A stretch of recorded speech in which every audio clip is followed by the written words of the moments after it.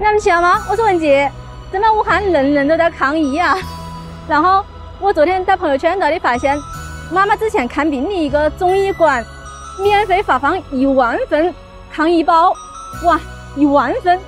所以我跟他联系了一下，去看一下到底是么回事。走。到这个地刚刚一进来看到这里好忙啊！之前来这里排队的都是人，今天排队的都是药。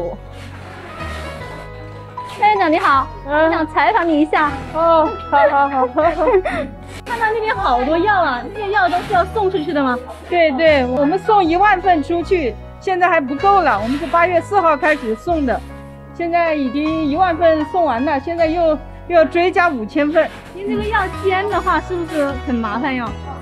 煎药其实也是需要很多人力物力的。嗯。呃，我们首先这个药要抓出来是吧？抓了之后的话要去浸泡，浸泡半个小时。嗯。然后在高压的煎药锅里面去煎，一般煎一个小时。嗯。煎了之后再打包出来，打出来都是滚烫的，手好烫，看凉要几个小时。后面我们就觉得这样的话太花时间了，我们就晚上加班。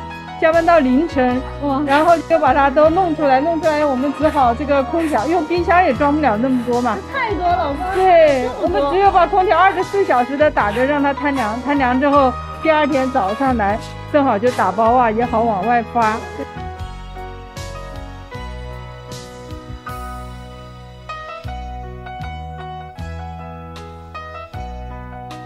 这个要怎么吃呀？它是？这个药是呃一天吃两袋，一天两袋，早晚一袋。嗯，哎，早上一袋，晚上一袋，连服三天就可以了，一个人。这个前两天我们打包快递顺丰包，呃，上车。那您怎么想到说要送那么多药出去呢？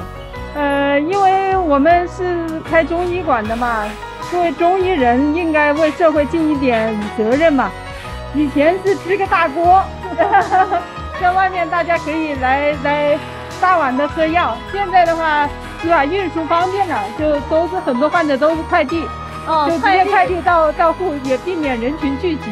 哦，对，嗯，刚刚看到还有人过来领药，对吧？对对，领药也是有的患者是吧？因为快递到家他要出个快递费，有的如果觉得就近的方便的，他就直接过来领也可以的。哎哎哎，然后这个是十八包，一家三口的量，可以顺丰。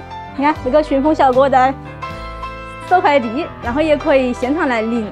为了让更多的人晓得这个事情，嗯，麻烦大家点赞、评论、转发、收藏，毕竟这是一件蛮正能量的事情。好了，今天到这里啦，拜拜。